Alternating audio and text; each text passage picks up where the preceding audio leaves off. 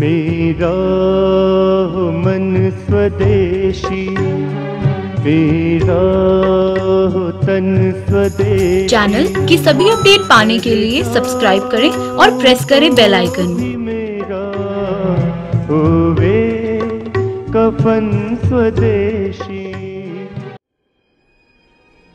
मैं भारत को भारतीयता की मान्यता के आधार पर फिर से खड़ा करना चाहता हूँ। उस काम में लगा उस काम में लगा आप में से किसी को भी मोतियाबिंद हो गया हो और आप नहीं चाहते कि आपका ऑपरेशन हो, या आपके पास ऑपरेशन कराने के लिए पैसा नहीं है तो आप कांधे के रस से मोतियाबिंद को गला सकते हैं और आँखें ठीक कर सकते हैं। इसको कितने दिन लेना है, कैसे लेना है, इसका सूत्र मैं बता देता हूँ, कागज़, पेन हो तो लिख लीजिए, क्योंकि ये बहुत काम आएगा। एक चम्मच पांडरे कांदे का रस। देखिए, कांदा एक ही काम का है, जिसको पांडरा कांदा कहते हैं।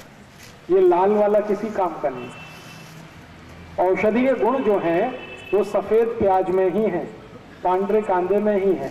लाल वाले में कोई औषधीय गुण नहीं है।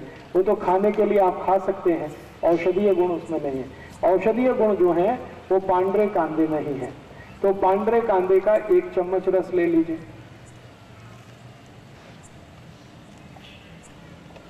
एक चम्मच इसमें नींबू का रस मिला दीजिए। एक नींबू आता है, जिसको बेदाना नींबू कहते हैं, जिसमें ज़्यादा बीज नहीं होते। वो बहुत अच्छा है। तो एक चम्मच नींबू का रस, एक चम्मच पांडरे कांदे का रस। फिर इसमें आप मध मिला दीजिए लगभग तीन से चार चम्मच मध।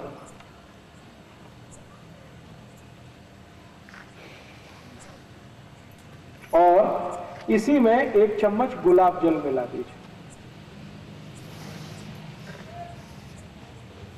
ये चारों को मिलाकर एक बाटली में भर के रख लीजिए और खूब अच्छे से हिलाकर एक एक थेम आँख में डालिए एक महीने लगातार डाल दिया तो मोतियाबिंद आपका कट के निकल जाएगा। गुलाब जल एक चम्मच। जितना आपका कांदे का रस, उतना ही गुलाब जल। उतना ही नींबू का रस। लेकिन मध इसमें तीन से चार फुट जाती माने तीन से चार चम्मच मध। अब ये जो सोल्यूशन तैयार हुआ है, इसको बाटली में भर के रखेंगे। चार पाँच महीने ये खराब नहीं होता। इसको रूम टेम्परेचर पे भी रखा जा सकता है। ज़रूरी नहीं है कि हमेशा इसको फ्रिज में रखना। खाली सीधे रूम टेम्परेचर पे रख के रात में सोते समय एक एक दो दो थेम आँख में डालते रहिए। एक सवा महीने के बाद आपका मोतियाबिंद कर, खत्म कर देगा। और एक बीमारी है आँखों की जिसको ग्लूकोमा कहते हैं ग्लूकोमा। ग्लूकोमा माने काला पानी। आँखों में हमेशा काला काला दिखता है और कुछ दिखता ही नहीं।